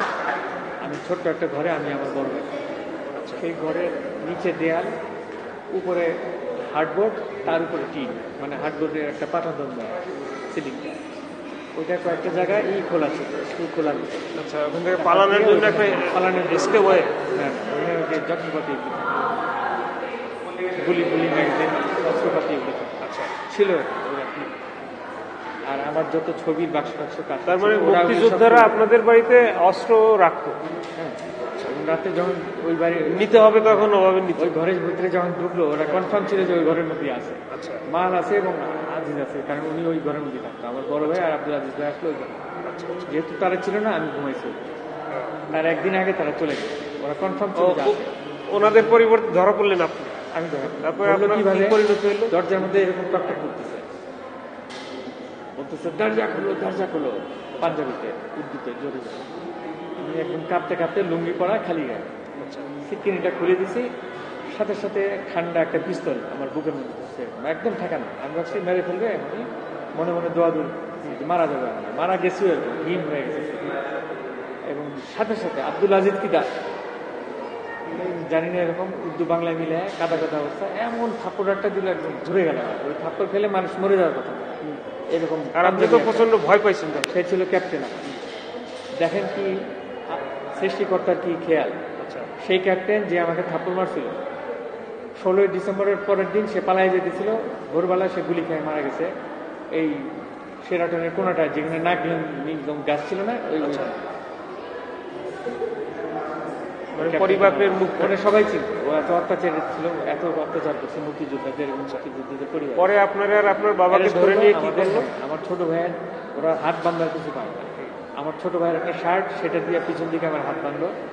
আমার আব্বার বান্ধব নেই বয়স্ক লোক দেখছে। তারপর একটা লম্বা দড়ি ওদের। আমরা যখন ঘরের বাইরে এলাম তখন দেখলাম যে বাড়িওয়ালার দুই ছেলে। আচ্ছা। ভাড়াটিয়া এরকম মোট নয় জন একই চত্বর। থেকে আচ্ছা। বাড়িওয়ালার আবার কয়েকটা ভাড়া টিয়ার ঘর ছিল আমাদের মতো। তারা সব অ্যাডাল্ট বয়স্ক তিরিশ পঁচিশ বছর ইয়াং মানে সবাইকে ধরে নিয়ে সবাইকে নয় পুরুষ। জনকে ধরলো কোনো আমাদের- নারীকে আমাদের জন্য হ্যাঁ সবাইকে ধরলো বাড়িওয়ালা দুই ছেলে লম্বা একটা দড়ি দিয়ে গরু ছাগলের মতো বাইন্দা আলামিন রোড থেকে আমাদের মারতে মারতে। বাইরানোর পরে দেখি যে এখানে একটা পনেরো ফিট দূরে বিশ ফিট দূরে একটা এরকম আচ্ছা। চাইনিজ রাইফেল নিয়ে পাকিস্তান আর্মি সব ড্রেস করা দাঁড়ানো দুই পাশে। ওটা ভাবছিল যে মুক্তিযুদ্ধের যে ঢাকা সিটির কমান্ডার আব্দুল আজিজ দুই নম্বর ধরা পড়বে। তারে আজকে ধরা পড়বে। পড়লে নিশ্চয়ই ওরা তারা তো মারতেই প্রেস কনফারেন্স করতে পারে এই কারণে ওরা খুব ওয়েল ইকুইপড হয়ে আসছে। এবং গ্রিন রোডের উপরে যখন আমরা আসলাম তখন দেখি যে পাকিস্তান আর্মির বিরাট বিরাট লরি গাড়ি যেগুলিতে করে ওরা আসছে। আর একটা মাইক্রোবাসের মতো গাড়ি থাকে না সেটা পিছন দিকে কোনো সিট নাই। পিছন দিক থেকে আমার আগে মাইক্রোবাস পিছন দিক থেকে ডালা খুলতো আচ্ছা। এখনও ওদের খোলা উঠাইলো উঠাই দেখলাম এখন যেটা জিনিসপত্র রাখার জন্য গাড়ির যে বালু প্রায় ছয় থেকে আট ইঞ্চি বালু। তখন বুঝলাম আমরা যে এইখান এটাতে আসামি ধরে নিয়ে যায় ফেলা যায়। আগে তো যাদের ধরতো দিত। আমাদের নিল ফার্ম রেটে নিয়ে যাচ্ছে আর কি। তখন আমরা ভাবলাম যে আমাদের ফেলবে ক্যান্টনমেন্ট নিয়ে দিতেছে ক্যান্টনমেন্ট ওই দিকে। নিয়ে রাইট টার্ন করল। জায়গাগুলো আমি চিনতাম যেহেতু ছোটবেলায় অনেক ঘোরাঘুরি করতাম। ওইটা ছিল হলো ড্রাম ফ্যাক্টরি বলতে তেজগাঁ মানে তেজ পড়ছে এখন যেটা যে সাত মসজিদ রাস্তার মোড়ের এখন প্রাইম মিনিস্টারের অফিসটা যেখানে ওইটা ছিল পূর্ব পাকিস্তানের সংসদ প্রাদেশিক সংসদ এবং এমপিদের থাকার ব্যবস্থা ছিল ড্রাম ফ্যাক্টরি আগে তার আগে ড্রাম ফ্যাক্টরি মানে বেগুনবাড়ি হ্যাঁ ওই জায়গাটা। ওইখানে নিয়ে একটা পরিত্যক্ত জায়গায় কেমন এমপিরা থাকতো। পার্লামেন্টের মেম্বাররা আসলে ওইখানে থাকতো। ছোট ছোট বাংলো ছিল বিল্ডিং একটা আলাদা আলাদা। আমাদের ওইখানে নিয়ে একটা পাকের ঘরের মধ্যে ঢুকে। আচ্ছা। ঢুকে যে যেমনি পারে মারা শুরু করল তারপরে প্রথমে মারলো? হ্যাঁ মারলো প্রথমে মাইডা লাথি দিয়ে দিয়ে ওখানে ঢুকে বন্ধ করল। আমরা ওখানে মোট এগারো জন নয় জন আর দুজন কিন্তু ওরা আজিজকে পাচ্ছে না। না। এবং আমরা সবাই প্রস্তাব আসছে ওখানে প্রস্তাব সবাই। এবং কলের পানি ফেলা? মারাই যাব। আমরা সবাই যেন একই রকম কথা বলি। পরের দিন ভোরবেলায় নামাজ হওয়ার পরেই একজন ডাকা শুরু করল এবং মায়ের শুরু হওয়ার পরে আমাদের যে বাড়িওয়ালার ছেলে সে বলে ফেলেছে। আচ্ছা। ফারুক আসতো এখানে আর্মস নিয়ে আসতো। সব ডিটেল বলে ফেলছে আজিজ আসছিল পরশু দিন এগুলো করবে। কিন্তু তারা চলে গেছে। আর ও তো চলে গেছে। আমি আর আমার আব্বা এক কথা বললাম যে আসতো ওরা ঠিকই আছে কিন্তু এখন কোথায় আছে। মানে কথা সবাই একই ধরনের একই বললাম। ওই বাড়িওয়ালা ছেলে বিপ্লব করে আর সবাই ও কি বলছে, বেশি ভয় পাচ্ছে? বেশি ভয়। মারছে তারে। সবাইরই মারছে কিন্তু কেউ কোনো কথা। আমি নিজের চোখে দেখছি যে উল্টা করে আপনার থাই এবং পাছা উল্টা করে শোয়াইছে তো? শোয়ান এইভাবে। নাক তার চারটে হয়ে যাচ্ছে ফ্লোরের মধ্যে। সে মারাই যাবে ওইভাবে কয়েকদিন আচ্ছা। একজনে পাও ধরছে পায়ের পাতার মধ্যে মারতেছে পিছন দিক উল্টা শোয়াইলে তো আপনার পাটা এরকম হয়ে গেল। পায়ের পাতা পাছায় এবং ছোট ছোট ছোট ছোট কিমার মতো চামড়া ছুটে ছুটে দেয়ালে রাখতেছে আমি নিজে দেখছি। এবং আমি ওগুলো হাত দিয়েও ধরছি ওখানে থাকতে। একদম উঁচা উঁচা। এটা বলতেছেন জুলাই মাসের ঘটনা। না। অক্টোবর অক্টোবর মাসে। ধরা পড়লাম মানে জুলাই মাস থেকে আমাদের তার তো দুই মাস পরেই দেশ স্বাধীন। তখন কিন্তু ইন্ডিয়ান আর্মিরা ঢুকে গেছে। আচ্ছা। বাংলাদেশের বিভিন্ন মানে যশোর হ্যাঁ মানে বর্ডার ঢুকে ভারতীয় বাহিনী আস্তে আস্তে ঢুকে যাচ্ছে। ওরা আতঙ্কগ্রস্ত। আতঙ্কগ্রস্ত বলে আমাদের মারে না খবর টবর ওরা ইনফরমেশন নিতে চাইছিল। যে ইনফরমেশন নিলে মুক্তি আপনার এই মুক্তিযুদ্ধের অভিজ্ঞতা এবং নিজের এই দশার ঘটনা নিয়ে কি আপনি কোনো বই লিখছেন? লিখে নেই তবে রেডিওতে একটা প্রোগ্রাম করছিল পঞ্চাশ মিনিটের পৃথ্বীরাজ আচ্ছা। শরৎ গরিতারে কোন সালে? সদ্য প্রয়াত মিউজিশিয়ান পৃথ্বীরাজ হ্যাঁ। ABC radio. ওই পঞ্চাশ মিনিট পুরোটাই আমার রেকর্ড করছিল শুধু মুক্তিযুদ্ধের অভিজ্ঞতা? শুধু মুক্তিযুদ্ধ আচ্ছা। তো আমরা হচ্ছে আপনার ক্যামেরার অভিজ্ঞতায় ফিরে আসি। ডেফিনেটলি আমরা ছিলাম হচ্ছে বঙ্গবন্ধুতে। বঙ্গবন্ধুর ছবি আপনি তোলার সুযোগ পাইছেন চার পাঁচবার তাই তো? না আরও অনেক বেশি। আরও বেশি? পঞ্চাশ বারের বেশি। ইভেন্টে যেহেতু আমার বয়স কম ছিল আমি কোনো পত্রিকা ছিলাম না। উনি প্রধানমন্ত্রী তার একটা প্রোটোকল আপনি যেহেতু ফ্রি ছিলেন প্রোগ্রাম মানে আপনি জানতেন কীভাবে যে ওনার এই জায়গায় প্রোগ্রাম আছে? যে বঙ্গবন্ধুর অমুক জায়গায় আজকে প্রোগ্রাম এটা কীভাবে জানতেন? রেডিওতে? না। তখন দৈনিক বাংলা এবং ইত্তেফাক বিশেষ করে। দুইটা কাগজে আজকে ঢাকা দৈনিক বাংলা দিত আর ইত্তেফাকে কি যেন একটা দিত শিরোনামে ছোট ছোট করে কোন জায়গায় কি কি বড় বড় অনুষ্ঠান আছে ওরা ওইটা দেখেন। যায় আপনি এটা ফলো করে ওটা ফলো করে করে যাইতাম কিন্তু প্রায় অনুষ্ঠানে ঢুকতে পারতাম না। এবং বাহাত্তর সালে পুলিশে আটকে বাহাত্তর সালে প্রায় অনুষ্ঠানে ঢুকতে পারতাম। তিয়াত্তর সাল থেকে একটা প্রোটোকল প্রধানমন্ত্রী তার নিরাপত্তায় অনেক লোকজন পুলিশ ডিবি তার নিজের সিকিউরিটি আছে সব মানে তখন কি রক্ষী বাহিনী নিরাপত্তার দায়িত্ব ছিল? রক্ষী বাহিনী ছিল তো কিন্তু রক্ষী বাহিনীর দায়িত্বে ছিল কিনা আমি জানি না। তিয়াত্তরে তো রক্ষী বাহিনী ছিল। বাহাত্তরে মোটামুটি না বঙ্গবন্ধু যেখানে যাতায়াত করতেন ওইসব জায়গার সিকিউরিটি সিকিউরিটি ছিল মহিউদ্দিন স্যার থাকতো সব প্রত্যেকের মহিউদ্দিন এবং অনেকগুলো অনুষ্ঠানে বঙ্গবন্ধু নিরাপত্তা পুলিশ কেউ কিছু বলতেছে না আমাকে। ক্যামেরা নিয়ে গেছি ঢুকতে দিছে স্টেজে কোনায় উঠছি ছবি তুলতেছি। কিন্তু সিনিয়র ফটোগ্রাফার যারা ছিল দৈনিক পত্রিকা তারা ইশারা দিয়ে দেখছেন যে চোখের ভাষায় তারা ইশারা দিচ্ছে পুলিশকে পুলিশ নামায় দিত ডিবি নামায় দিত আমার ব্যাগ চেক করতে এরকম করতে অ্যাট দ্য সেম টাইম মানে আর কোনো ফটোগ্রাফার কি বঙ্গবন্ধুকে এভাবে ফলো করতো সবাই সময়? আমার মতো বয়সে কেউ করছে বলে আমি শুনি না আপনাকে যদি সর্বকনিষ্ঠ ধরি মানে সিনিয়র অন্য ফটোগ্রাফাররা যেমন রশিদ তালুকদার বড় বড় ইভেন্টের ছবি। পাবেল ভাই ছোট হইলেও সে কিন্তু কামালের বন্ধু হয় ওই বাড়িতে যাতায়াত করতো। কোনো অনুষ্ঠানে না। অনুষ্ঠানে না তার তো পারিবারিক যাওয়া আসা ছিল। এগুলো অনেক পরে শুনি এগুলো নিয়ে কন্ট্রোভার্সি আছে এগুলো নিয়ে গবেষণার দরকার আছে। সে যাইতে পারছে কি যায় নাই ওনার বাড়িতে বারে বারে সেরকম কোনো প্রমাণ আমি না বঙ্গবন্ধুর ওই যে কাঁচামরিচ দিয়ে পান্তা ভাত খাচ্ছে এরকম একটা ভাইয়ের ছবি দেখছি।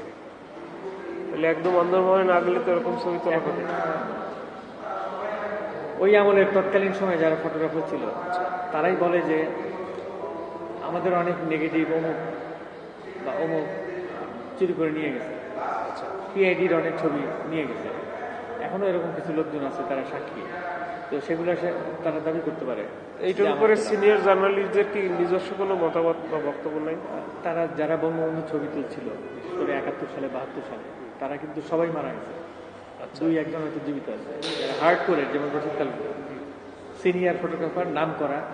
বঙ্গবন্ধুর সঙ্গে যাদের আর্থিক সম্পর্ক ছিল মুজিব ভাই মুজিব ভাই করতে যারা বঙ্গবন্ধু যাদের সবাইকে চিনত। আমার একটা ছবি আছে দেখেন এই ছবিটা একটা প্রমাণ যে বঙ্গবন্ধু ওই সিনিয়র ফটোগ্রাফারদের কত ভালোবাসে। হ্যাঁ হ্যাঁ একদম। নির্বাচনের দিনে উনি আসছে উনি রাষ্ট্রপ্রধান।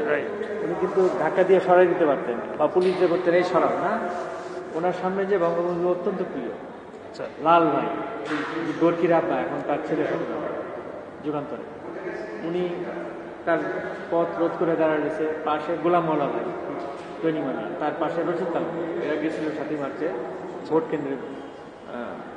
ছবি ধানমন্ডি গার্লস সাতই মার্চে লাল ভাইয়ের সাথে আমার একদিন দেখা হচ্ছে কীভাবে জানেন সেলিব্রিটি না না আমি গেছি আর্মিতে আইসিসবি পরীক্ষা দিতে। এখন ধরেন আমার মতো বা আমাদের মতো ওনার কি কাকরাইলে ই ছিল? কাকরাইলে বা পল্টনে ছিল স্টুডিও? আমি জানি না থাকতে পারে। কারণ হচ্ছে আমরা যারা আর্মিতে আইসিসবি দিয়ে বেরোইলাম আমরা চিন্তা করলাম এই এই আর্মির এই অবস্থার একটা ছবি তুলে রাখি। পরে আমরা বন্ধুরা কোথায় স্টুডিও আছে? কাকরাইল অথবা পল্টন আমার ঠিক মনে নাই। ওখানে আমরা গিয়ে পাঁচ বন্ধু যারা আমরা একই ব্যাচে ছিলাম এসে ছবি তুললাম ওই পাসপোর্ট পাসপোর্ট সাইজ পরে আবার এসে আমাদের একটা নম্বর দিয়ে দিল। ওই নম্বর দিয়ে পরে এসে আবার ওই ছবি আমরা আমি ফটো জার্নালিজম করতাম না বয়স কম। কিন্তু ওনার নাম লাল ভাই ছিল এটা উনি লাল ভাই উনি তো কিন্তু আমি মনে নাই ওটা আমি বলতেছি আমার তখন আঠারো বছর বয়স। ঢাকায় আসছি মনে হয় দ্বিতীয়বার বা তৃতীয়বার। অ্যাক্সেস পাওয়া আমার পক্ষে সম্ভব। আচ্ছা। তাহলে বঙ্গবন্ধুকে তোলার ছবি নিয়েও কনসপাইরেসি আছে এটা এক ধরনের তার বুঝতে অনুষ্ঠানে যে সিনিয়র ফটোগ্রাফাররা নামাই দিত। আচ্ছা। নিরাপত্তার নামাই দিত নামাই দিত। সাতই মার্চের ভাষণ তো নামাই দিত একটা ছবি তাহলে এই। ফটোগ্রাফির এই কপিরাইটটা কীভাবে মানে সংরক্ষণ করা যাবে কীভাবে? মনে করেন মামুন ভাই মারা যাওয়ার পরে হ্যাঁ। মানে আমি কিংবা আমার চাইতে আরও ছোট যারা যার দিকে বেঁচে থাকে তারা দাবি করল যে এই ছবিটা যে এই ছবিটা তার তোলা।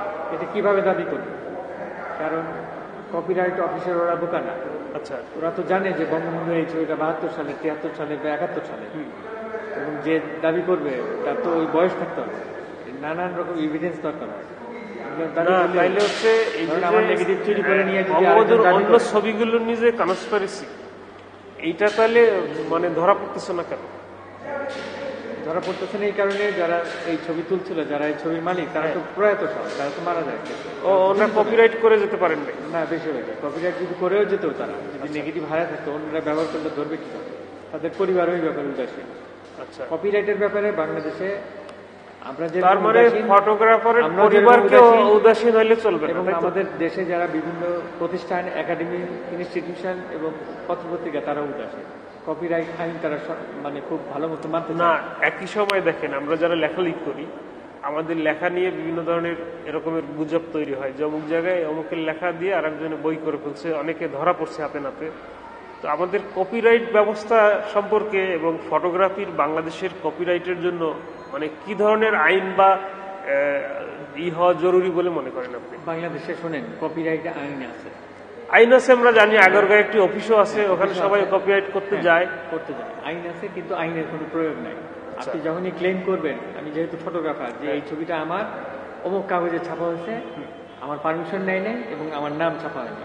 আপনি কিন্তু দুইটা ক্লেম করতে পারেন যে আপনার অনুমতি নাই নেয় নাই এবং আপনার নাম ছাড়া ছবিটা ব্যবহার করছে। আচ্ছা। এইটা কিন্তু কেউ করতে চায় না কারণ আইন আদালত উকিল ধরা এবং না তাহলে এখানে সরকারের কোনো দেখবেন যে আপনি সরকারের কোনো ব্যর্থতা খুঁজে পাচ্ছেন? আপনি কোনো যে সরকার কেন কপিরাইটকে আরও জনসাধারণের সামনে আরও যেন উন্মুক্ত আমি মনে করি যে কপিরাইট আইনের প্রয়োগটা খুব জরুরি সাংঘাতিক জরুরি। যদি না একজন একজন একজন লোক তার হচ্ছে সৃষ্টিকে বাঁচানোর জন্য কপিরাইট করবে তাই তো? তাহলে সেইটার জন্য সরকার তাকে এবং অন্যদেরকে আরও শিক্ষিত করতেছে না কেন? এখন কেন যে করতেছে না আমি ভিতরে কেমিস্ট্রি জানি মনে করেন আমি প্রায় পঁয়ত্রিশ বছর লেখালেখি করি। আমি কপিরাইটের বিষয়টি হয়তো আরও পনেরো বছর বা বারো বছর আগে থেকে জানি। এর আগে জানতামই না। না আমি তিরিশ পঁয়ত্রিশ বছর আগেও জানতাম যে কপিরাইট আচ্ছা। আছে কপিরাইট একটা অফিস আছে সেখানে কন্ট্রাক্ট প্রিন্ট নিয়ে গেলে অল্প একটু ফি ওরা সিল মেরে দেয়। তার মানে এই ছবিগুলি ওনার আর এখনও এটা কি ওরা আর্কাইভে কোনো সংরক্ষণ করে? হ্যাঁ একটা রাখে ওরা। এখনও ওই নিয়মটা আছে আরও আধুনিক হচ্ছে এখন। আপনি ডিভিডি সিডি নিয়ে যাবেন আচ্ছা। একটা প্রিন্ট আউটও করে সিল টিল মেরে দেয় আপনার অল্প কিছু টাকা। সেটা আমি আমার সিনেমা কপিরাইট করতে গিয়ে ওদেরকে ডিভিডিতে খোঁজ খবর রাখে যে এই জিনিস তার হতে পারে তার বয়সের সাথে এই ইভেন্ট এই লোক ওরা আচ্ছা। বিবেচনা করে যে এই লোক তো আমি যেহেতু পোর্ট্রেট করি যে এই লোক তিরিশ বছর আগে মারা গেছে যে নিয়ে আসছে তার কত বয়স ছিল তখন? এইভাবে হিসাব করে ওরা একটা ই করে বার করছে ওরা বুদ্ধি শুদ্ধি খাটায় করে আর কি। আচ্ছা। তো সেই কপিরাইটের তো প্রয়োগ নাই। আপনার আইন আছে আইনের প্রয়োগ নাই তাহলে তো লাভ নেই। আমার যে জিনিস আমার যে সম্পদ সেগুলো অন্যরা নিয়ে যাচ্ছে। অন্যের নামে ব্যবহার করতেছে। আমি আঙ্গুল চুষতেছি আমি কিছু করতে পারতেছি না। কি আমি যদি মামলা করি আমি যদি মামলা করি না তাহলে প্রত্যেক মাসে আমার দুইটা মামলা করতে হবে। এই আচ্ছা। কপিরাইট আইন নিয়ে। আমার খালি উকিল ধরে এগুলি করতে হবে। তাহলে আপনার কাজ করার সময় অন্য কোনো কাজ করতে পারব না আমি সারা বছর খালি মামলা নিয়ে থাকব আমার এত ছবি বিভিন্ন পত্র পত্রিকা অনলাইন ম্যাগাজিনে নেয়। তাদের নামে ছাপে আমার নামও ব্যবহার করে না পারমিশনও নাই। তাহলে ক্রিয়েটিভ এই মানুষগুলোর এই ক্রিয়েশনগুলো অনেকে স্মার্টফোন নিয়ে এসে খালি কপি করে। আচ্ছা। নিশ্চয়ই উদ্দেশ্য আছে এবং যারা এটা করে আমি খুব দেখি এদের ফলো করি। দ্রুত তারা চলে যায় কারণ তারা ছবি দেখতে আসে না। ছবি দেখতে আসলে ছবিটা দেখতো তারপরে হয়তো কপি একটা। তারা উদ্দেশ্য কপি করে। গুলোকে টিকিয়ে রাখার মানে আর কি কোনো বিকল্প আছে? শুধু কপিরাইটের উপরে যেহেতু ভরসা করে যাচ্ছে না। এগুলা কপিরাইটের উপরে তার শুধু ভরসা করি না এগুলো স্ক্যান করা ক্যাটালগিং করা ক্যাপশন দিয়ে রাখা ভবিষ্যৎ প্রজন্মের জন্য। আর আমি তো একটা জাদুঘর করতে চাই ফটোজিয়াম না মনে করেন একই জিনিসের রেপ্লিকা আরেকজনের কাছে আছে। আপনি বললেন যে মোবাইল এসে তুলে নিচ্ছে।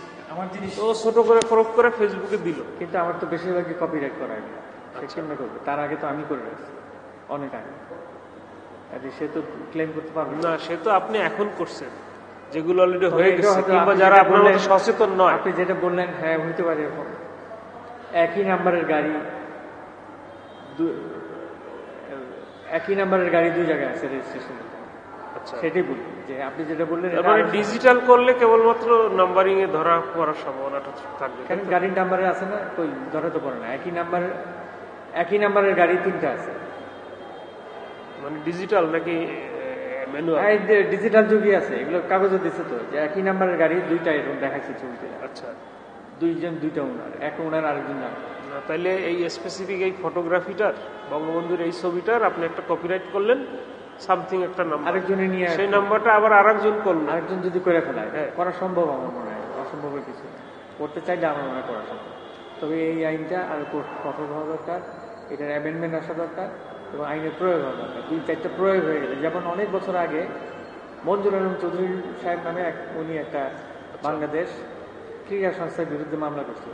মামলাটা ছিল হলো এক ওনার তোলা একটা বাঘের ছবি সুন্দরবনের রয়্যাল বেঙ্গল টাইগার। সেটা বিজ্ঞাপন ওরা দিছিল ছবি ছাপছিল আচ্ছা। বাঘের- ওনার কোনো কোনো ক্রেডিট লাইন দেন হ্যাঁ বাঘের হলে এই পাশে দুইটা দাঁত ছিল। ওরা করছিল কি একটা দাঁত ছোট করে দিচ্ছিল ফটোশপে করে।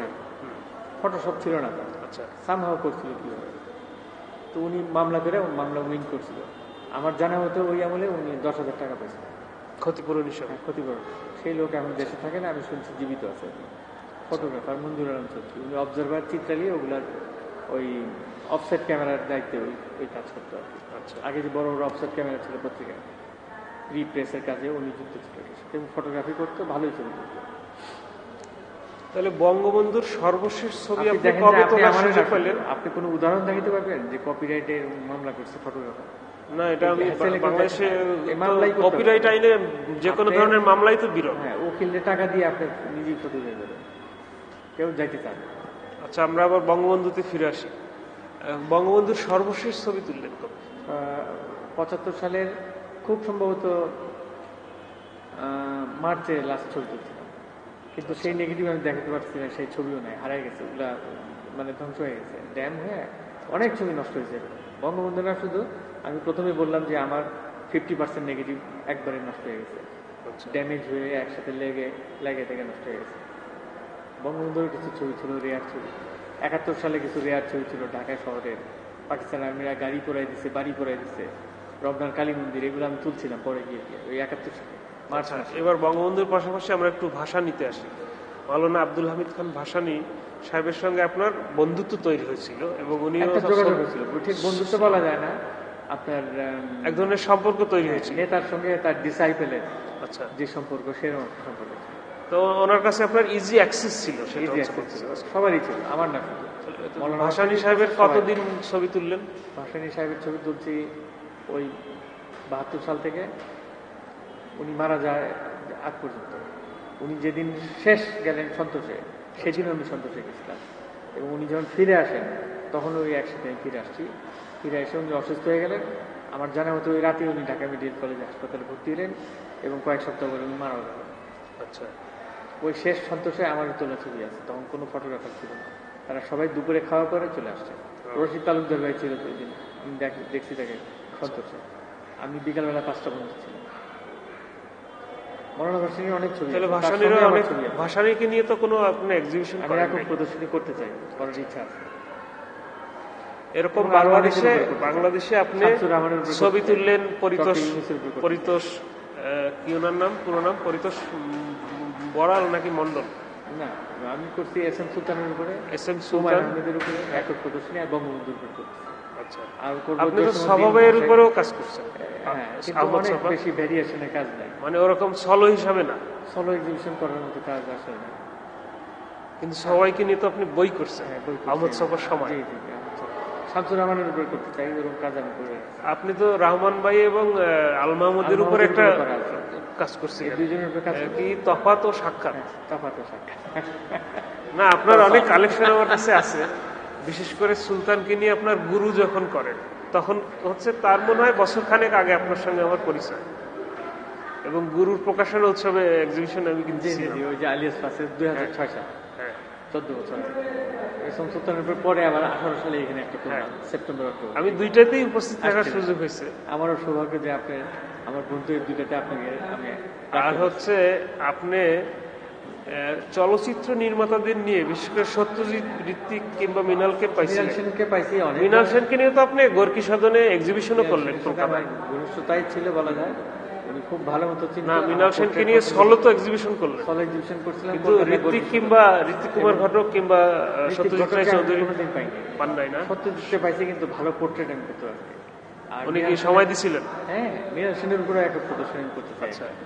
আচ্ছা মৃণাল সেন আমার ওই প্রদর্শনী উদ্বোধন করছিলেন কলকাতায়। তার উপরে প্রদর্শনী উনি নিজে উদ্বোধন করছেন। আচ্ছা। এবং দেড় ঘণ্টা ছিল। আমার হাত ধরছে আচ্ছা। একানব্বই বছর বয়স। মৃণাল সেনের ছেলে একমাত্র সন্তান কুনাল সেনও ছিল। আচ্ছা। মৃণাল সেনের সঙ্গে যখন ওরা যোগাযোগ করতে যায় যেরকম আপনার জেলা সদর ফরিদপুর আপনার জন্মস্থান যেখানে আপনার এলাকারই একজন। এই নাম বলে আমি তাকে চিনি না। আচ্ছা বলে যে সে তার অনেক রেয়ার কাজ আছে ই আছে। আপনি এই আপনি উদ্বোধন করবেন বলে না না এটা আমি পারব না আমি তো ওকে চিনি না। সে কে? এইভাবে তো কথা বলতো?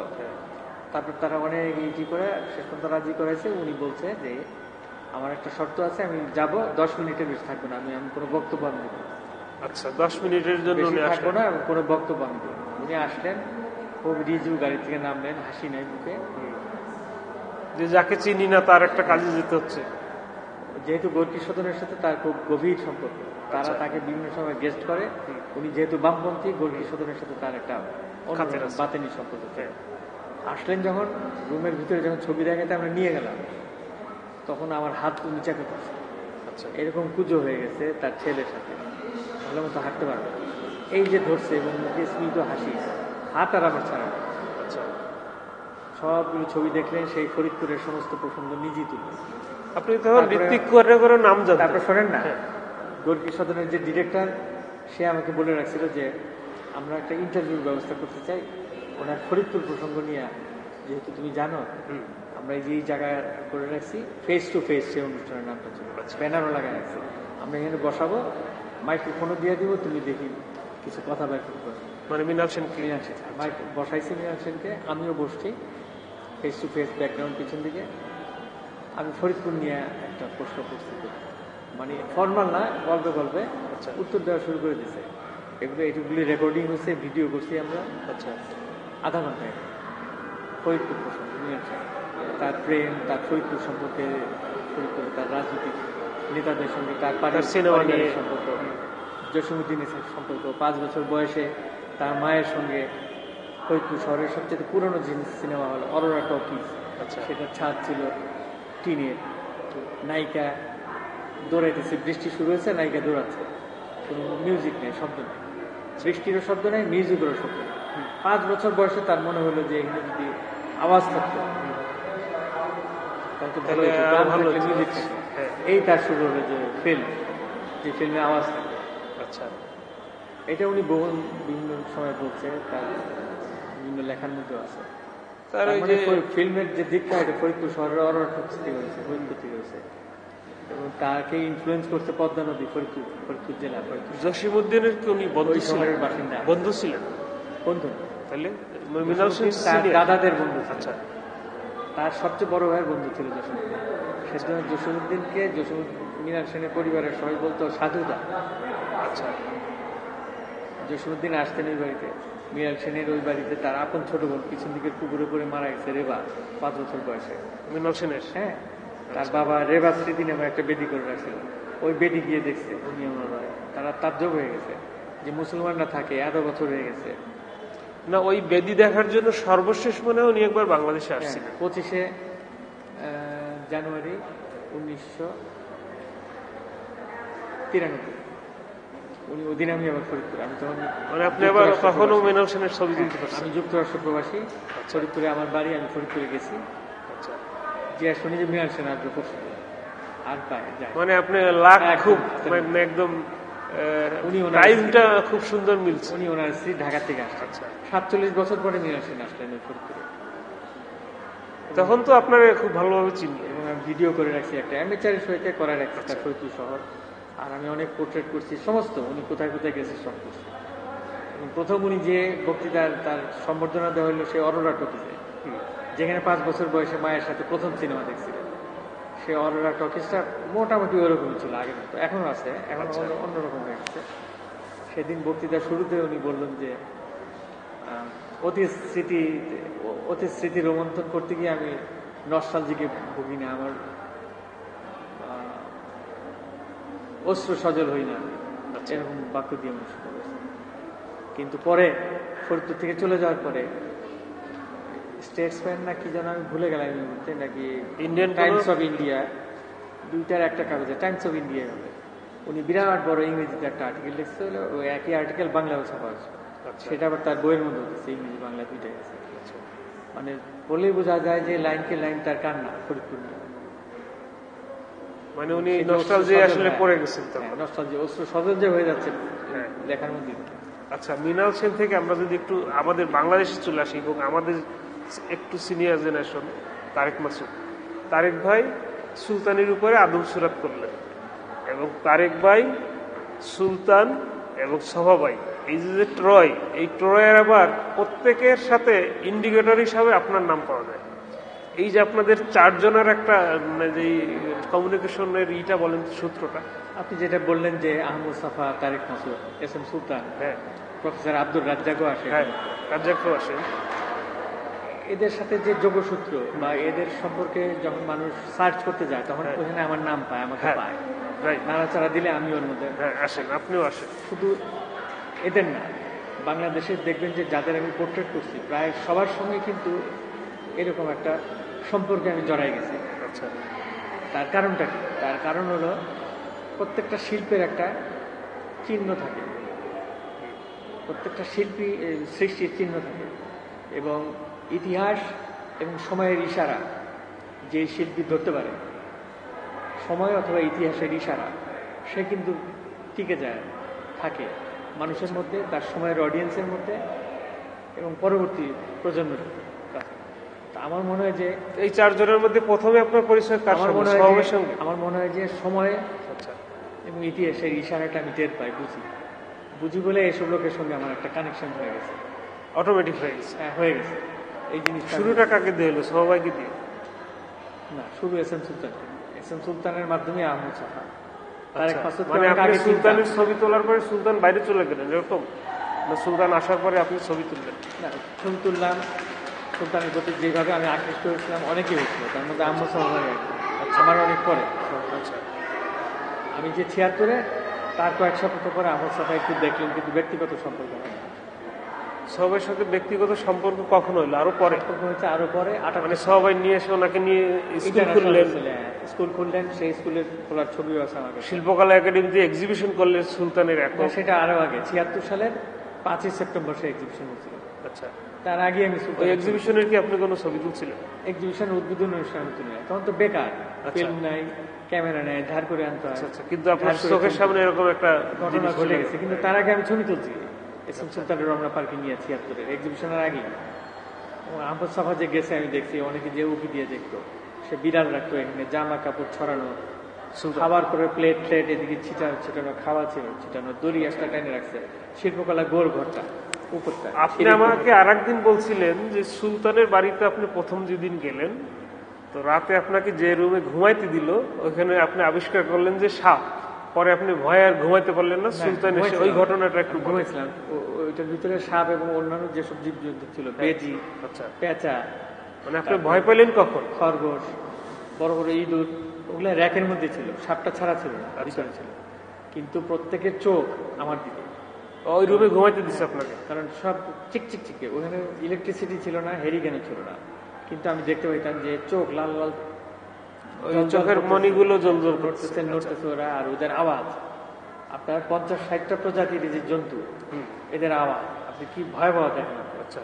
আমার বারে বারে মনে হচ্ছিল যে ওই নেটগুলা কাইটা ওরা ওইটা বের হয়ে বের হয়ে এসে আমার ঠোকরা টুকরা খায় ফেলবে এই জন্য ঘুমাইতেছিল না। ফ্লোরে ঘুমাইছিলাম খাট নাই পালং নাই বালিশ নাই লেপ কাঁথা কিচ্ছু নেই।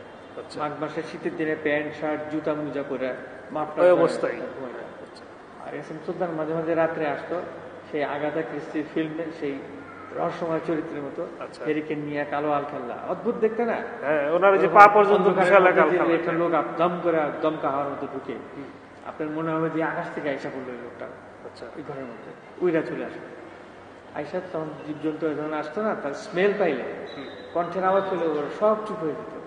ওদের যে স্বভাবজাত আওয়াজ জীবজন্তু সব চুপ হয়ে যেত। প্রত্যেকটা খোপে গিয়ে গিয়ে এস সুলতান মুখ দিয়ে দিয়ে দিয়ে এরকম কথা বলতো। এই প্রাণীদের সাথে? হ্যাঁ হ্যাঁ।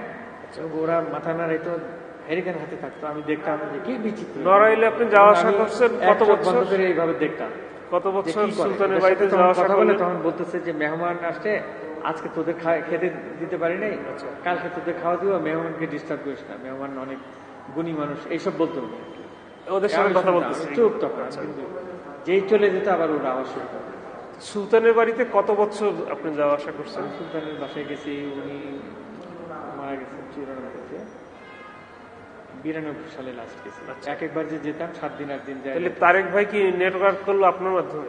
হ্যাঁ আমার মাধ্যমে যোগাযোগ করে দিচ্ছি আমি। আচ্ছা তারেক মাসুদ মিশুক মুনির তারপরে অঞ্জন এরা একটা গ্রুপ মিলে গেছিল। আমাকেও না আপনারা প্রথম আমাকে তারেক ভাই সহ যান। ওই দিন তো ওয়েদার খারাপ ছিল। না না আমাকে নিয়ে যাওয়ার কথা ছিল। কিন্তু যে আমাকে সহ যাবে। আচ্ছা কিন্তু আপনি মিস মিস হয়ে গেছেন। আমি মিস হইনি তাহলে? কো- যে কোনো কারণে আমারই নিয়ে যাবে। রাত্রে আমরা সাড়ে একটা রওনা দিব সবাই। আচ্ছা। কিন্তু অন্য সবাই গেছে তারেক মাসুদ। আমাকে আর নিয়ে যায়নি। আমার সাথে আর কমিউনিকেট করেনি। একটা জায়গায় আমি অপেক্ষা করছি অনেক রাত পর্যন্ত। ওরা কিন্তু চলে গেছে। আচ্ছা। পরে হয়তো তো মোবাইল নাই এমনি আগের দিন মুখে বলা ওই চেঞ্জ করছি যে ওরে নিব না আমরাই কাজ করব। এরকম হতে পারে তাই আচ্ছা। তো ওরা কাজ করে আসছে ভালো কাজ করছে আদম ওইটা ছিল ওগুলো একটা ডকুমেন্টেশন সে করে নিচ্ছে আর কাজটা সে কত করতে পারছে কিনা করছে। আচ্ছা। আরও ভালো হওয়া উচিত ছিল কিন্তু ওই সীমাবদ্ধতার মধ্যে বাজেট নেই কিছু নেই তাও যে তারেক কাছে যেটা করছে আমি তো মনে করি বিরাট কাজ আছে তারেক ভাই তো এটাই প্রথম কাজ। প্রথম কাজ। আদম ছিল। মিশুকের ফটোগ্রাফি দুর্দান্ত হ্যাঁ মিশুক মনির তো তারা দুজন তো জুটি। তারা দুজন দেখেন মারাও গেল একসঙ্গে। তারেক ভাই এবং মিশুক মনির মারা যাওয়ার দিন কি আপনি দেশে ছিলেন? না আমি দেশে ছিলাম না। তখন কোথায় ছিলেন? আমি ছিলাম তখন হ্যাঁ বাংলাদেশে ছিলাম। ছিলেন? হ্যাঁ বাংলাদেশে। যখন মারা যান বাংলাদেশে। তারেক মাসুদের বাসায় গেলাম যে ডিসেম্বর মাসে। আচ্ছা। একটা অনুষ্ঠান ছিল। তারেক মাসুদ পদক দেয় ওইটা পদক দিয়েছিল ওইটা নিতে গেছিলাম আমি। ফরিদপুরে? ফরিদপুরে। আমি মুর্শিদুল ইসলাম ভাই। আচ্ছা। হাবিবুল্লাহ সিরাজ সিরাজি ভাই জান নাই আমরা গেছিলাম তখন তারেক মাসুদের কবর দেখলাম তো বাংলাদেশে আপনি অনেক বিখ্যাত লোকের ছবি তুললেন। তার মধ্যে কোন না আমি আগে দেশেরটা শেষ করি। তার মধ্যে দেশের এই যে যে ভাষা নিয়ে এবং বঙ্গবন্ধু দুজন মহান মানুষের ছবি তুললেন এবং অন্যান্য অনেক আর্টিস্টের যেমন রাহুল ভাই সহ ভাই তারেক মাসুদ। তারেক মাসুদের ছবি তো আপনি। অবশ্যই। এরকমের অনেকের ছবি তোলার পরে মানে অনেক। কার সঙ্গে সবচেয়ে আপনার মানে কাজটা খুব ইজি হয়েছে? নাকি কঠিন ছিল বলি যে প্রায় সবার সাথে ইজি হয়। প্রায় সবার সাথে অত ইজি হয় আচ্ছা। প্রথম সত্তর আশির দশকে বেশিরভাগের সাথে খুব সুখকর ছিল না এবং সহজ ছিল না অ্যাক্সেসটা তাদের সময় পাওয়া। আচ্ছা। যেহেতু তখন আমি এরকম পরিচিত ছিলাম। কিন্তু আশির দশকের পরে খুব ইজি পরিচিতি এবং প্রত্যেকের সাথে আমার একটা আর্থিক সম্পর্ক হয়ে গেছে বন্ধুর মতো সম্পর্ক হয়ে তাদের সাথে না তাদের পরিবার তাদের স্ত্রী ছেলে মেয়েদের সবার সঙ্গে এবং তাদের মৃত্যুর পরেও সেই সম্পর্ক আমার অব্যাহত আছে।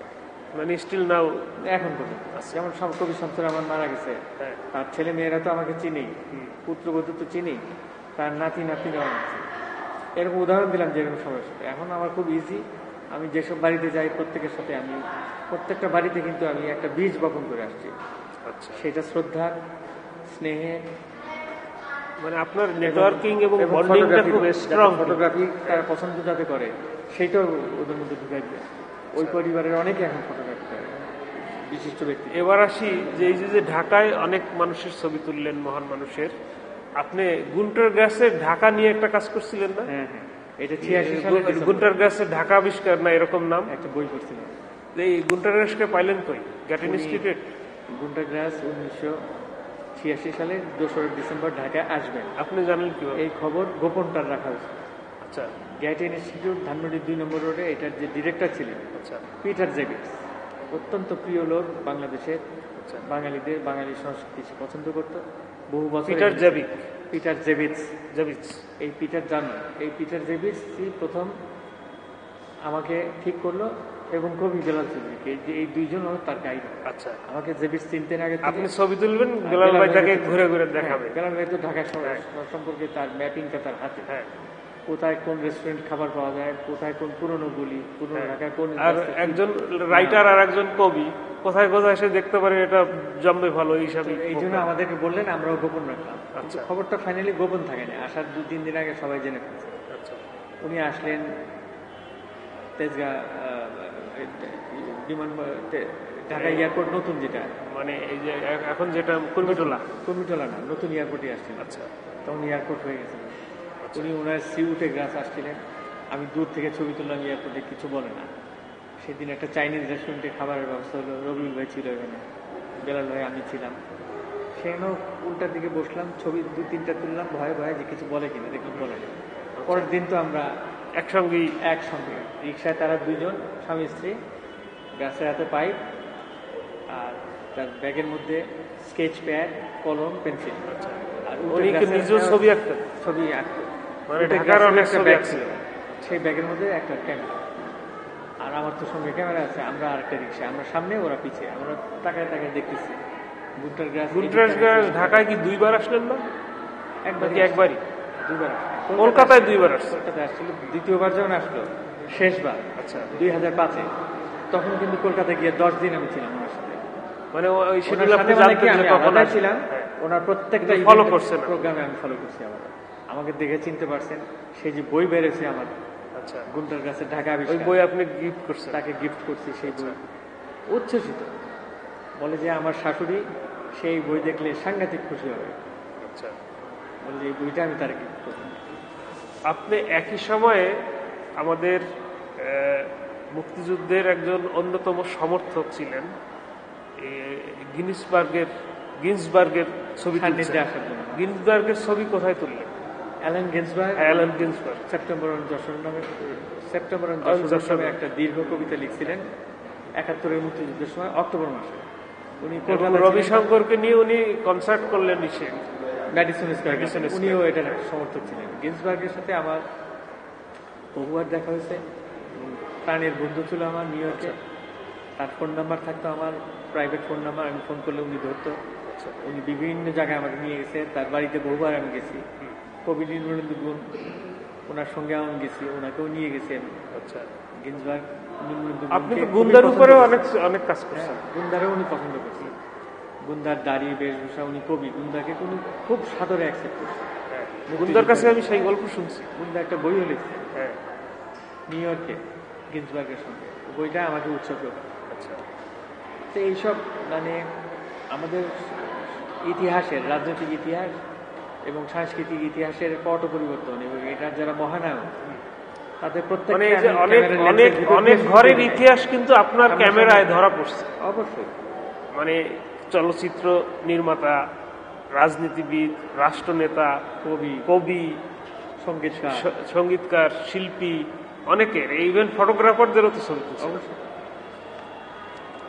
যেমন আপনি স্টিফেন হকিন্সের ছবি তুলছেন। হ্যাঁ। হোয়াইট হাউসে দুই হাজার নয় সালে। আচ্ছা মানে বিল ক্লিন্টন এবং হিলারির ওইটা বারাক ওবামার প্রোগ্রাম ছিল।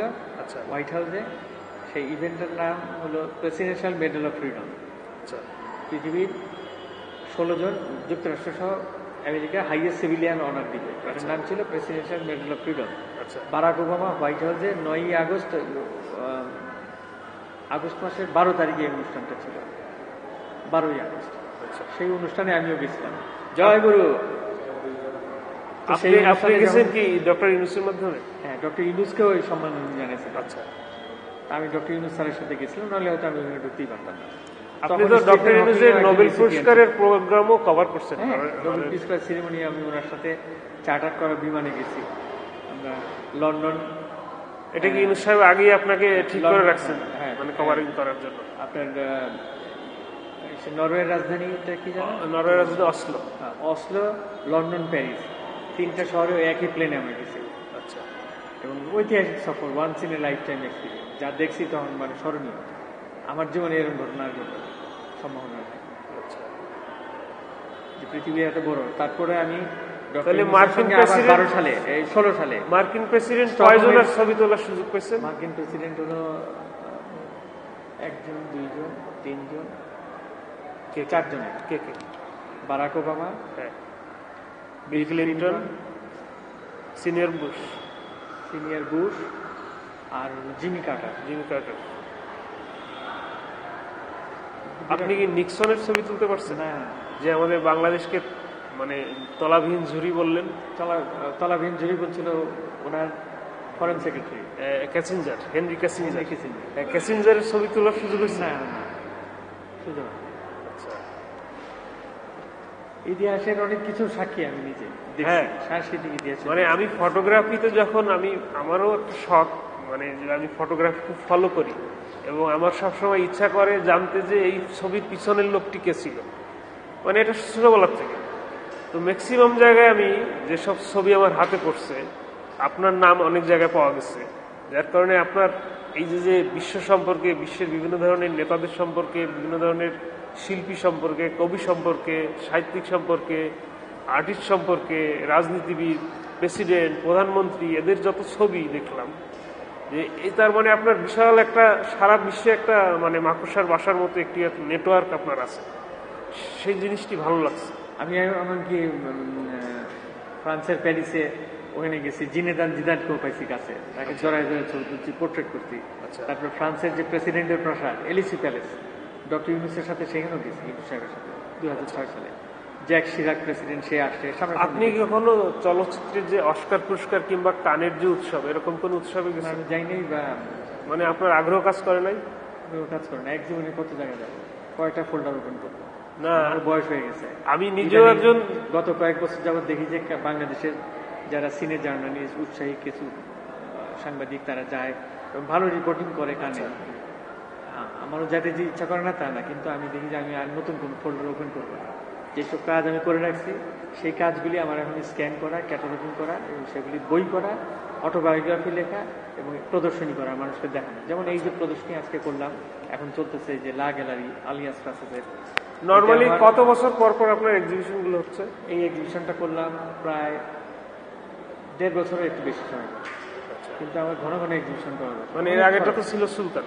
এর আগেরটা সুলতান তার আগেরটা একটা রিট্রোস্পেক্টিভের মধ্যে। ছিল আর চারাল নামাটা আপনার বই?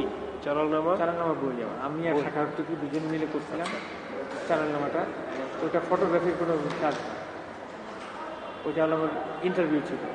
র ল্যাঙ্গুয়েজ ভুল ব্যাকরণে ভুল উচ্চারণে আমাদের সাধারণ মানুষেরা যাদের মানে যে যেভাবে কথা বলে ওই বা হোমলেস ওই ভাষাটা রক্ষা করার জন্য আমি এই ধরনের ইন্টারভিউ করা শুরু করছিলাম। বহু বছর আগে। প্রথম আলোতে ছাপা হয়েছিল সাড়ে তিন বছর সপ্তাহে একদিন তারপরে সেইটা ঘর নাই আমি নিজে প্রথম আলোতে আপনার প্রচুর ইন্টারভিউ আমি পড়েছি। আমি নিজে। আমি হলে যেই ভাষায় কথা বলি হ্যাঁ।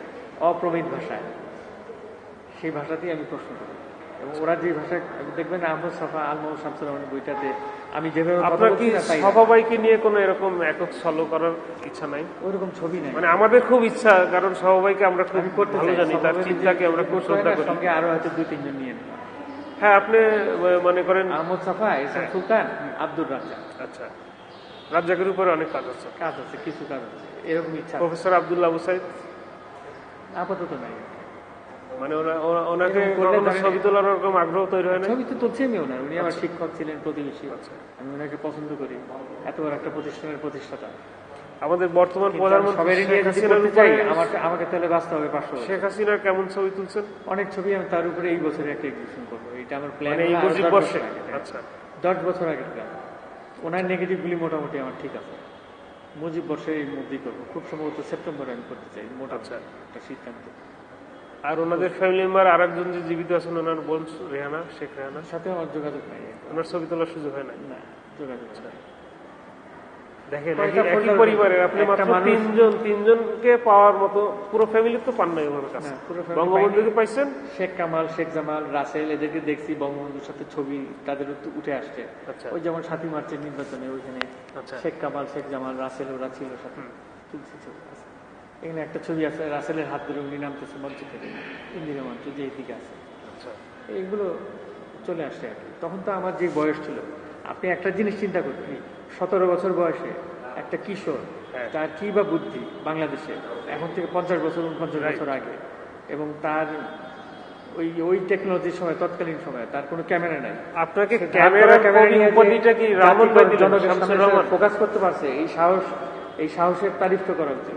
মামুন ভাই ক্যামেরার কবি এই উপাধিটা কি রহমান ভাই দিলেন রহমান। কবি শামসুর রহমান একটা বই উৎসর্গ করছিলেন আমাকে সেই বইটার নাম হলো গোরস্থানের কোকিলের করুণ আহ্বান কবিতা গোরস্তানের করুণা ওই বইটাতে লিখছিলেন উৎসর্গ করতে পত্রে ক্যামেরার কবি নাসির ইলি মাহমুদ আচ্ছা এই জন্য অনেকে বলেন শামসুর ভালো। পরে জিজ্ঞেস করছিলাম যে ক্যামেরার কবি বললেন। বলে আমি খুব জেনেই বলছি বলে যে ক্যামেরা দিয়ে কবিতাই কবিতা। না এই যে পরবর্তীতে রহমান ভাইয়ের কথা তো খেটে গেল। মানে এই যে আপনার বিশাল নেটওয়ার্কিং তৈরি হয়েছে। মানে এটা কি রহমান ভাইয়ের কথা সত্য? মানে কবিরা নাকি মানে দূরদর্শী অনেক ভবিষ্যৎ দেখতে পায়।